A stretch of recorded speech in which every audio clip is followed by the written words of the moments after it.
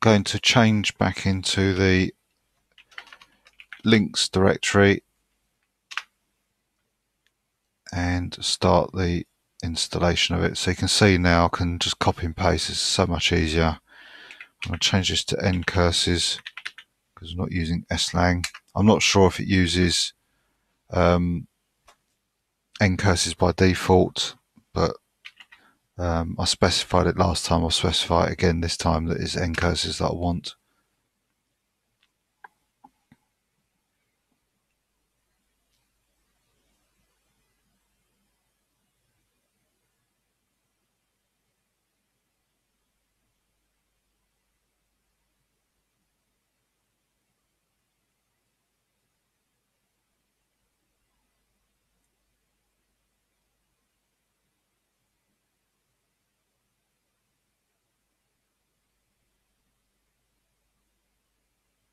Okay, that's configured. We build it with this command. I think it just takes a couple of minutes.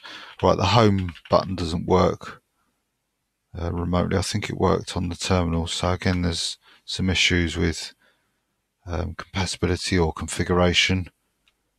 So um, actually, one thing I'll do before I go any further is just echo the terminal.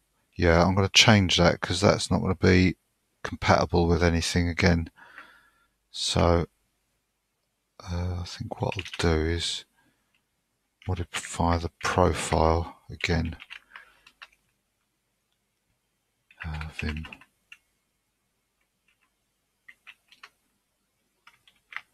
And export term equals xterm.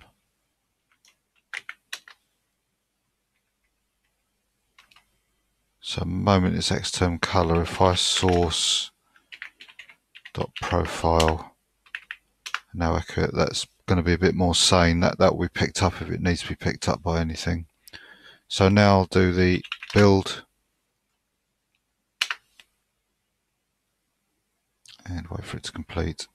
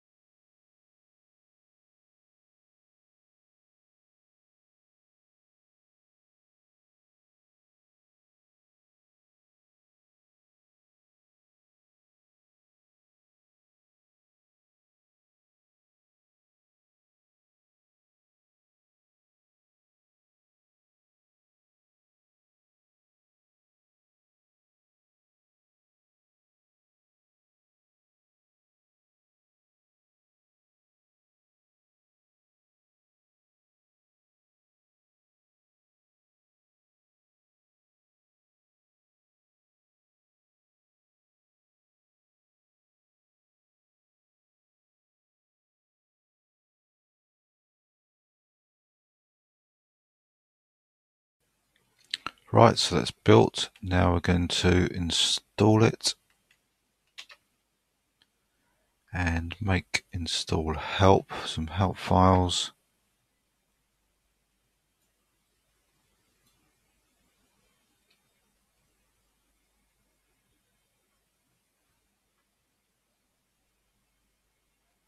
and install doc, some documentation. So that is Lynx completed. So in theory, should be able to run it. So it can't connect to, okay, so that obviously doesn't exist anymore, that location. Um, but we can do Lynx. Um, I can test it against my own server. Let's go to the LFS 1.0 page. And what's happened there? It's gone to the root for some reason. Is that because I've not put HTTP in front of it? It's assumed that's a local directory, I think.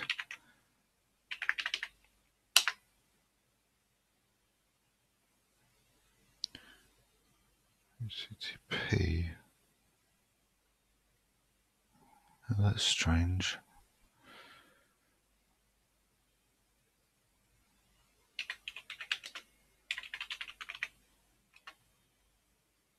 Right, I wonder if it's because that's on a different domain. Um,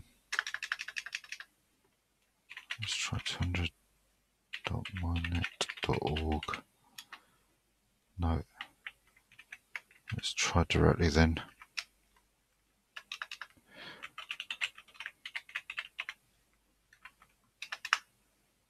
Right, that's why. I think it's because that computer's on a different domain, domain because it's a server.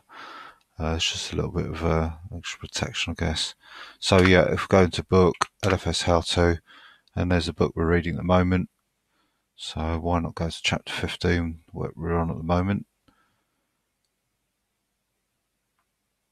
So there we are. And we're on the Lynx portion. There it is there. So you can see it's exactly the same text. Just obviously looks a bit different. So that obviously all works okay. And I'll tidy that up now. And so that's basically the nearly all the setup done to get the telnet working. We've done Lynx on the way there. I'm not going to be using it. Uh, the only thing remaining for the telnet server is, as I say, that package to install a script file to allow this script to run correctly. Um, but as long as I keep my wits about me and not log out of this session or reboot the machine or anything like that, I should be able to complete the rest of the build in one hit um, without logging out at all.